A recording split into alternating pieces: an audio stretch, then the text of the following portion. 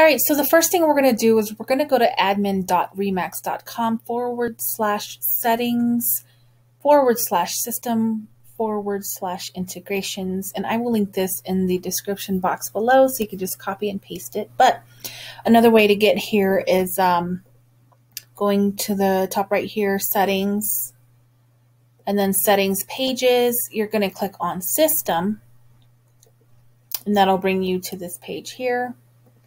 And um, we're going to go down to third party scripts. And then we're going to activate our pixel.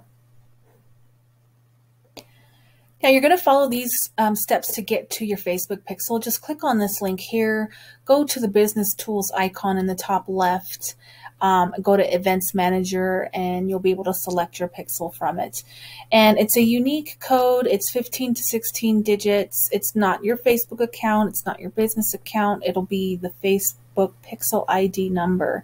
For a complete walkthrough, you can watch this video here on how to use the Facebook Pixel. This is just a video setting up the um, actual Pixel if you've already got that all running. Um, you're probably not running ads if you if you don't have that. So I'm going to go ahead and copy and paste mine here and continue and it's been activated. So that is super easy. I mean, you can also activate your Google Analytics. Um, follow the steps here if you have a Google account, a Google business account. So, and that's it. And now you can start tracking and retargeting your clients um, using just your Remax website.